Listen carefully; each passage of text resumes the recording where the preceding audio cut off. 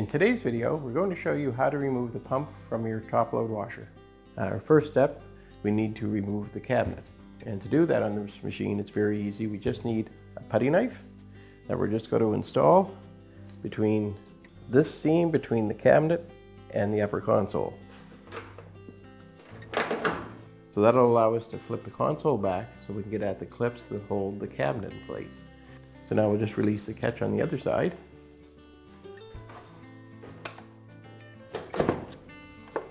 That'll allow the console to flip back.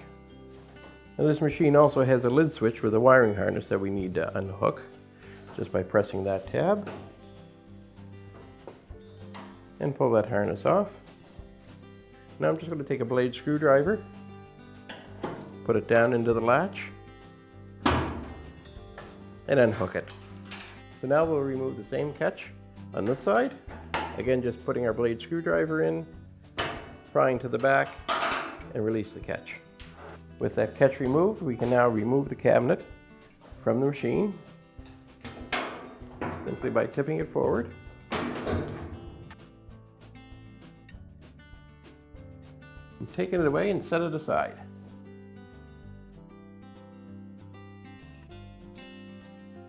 And the pump's quite easy to remove. Just need to remove these clips. You can just press them with your fingers.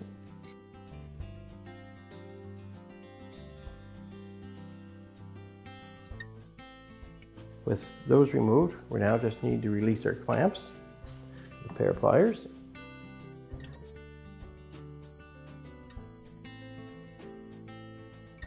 Now there's a good chance there may still be water in the pump when you go to do it. I know for this machine there shouldn't be any at this point, but just to be aware, you may want to put a towel down or a couple sponges handy and just pull your hoses off.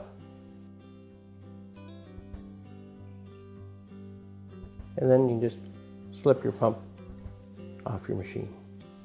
On this machine, it's just held by those two clips.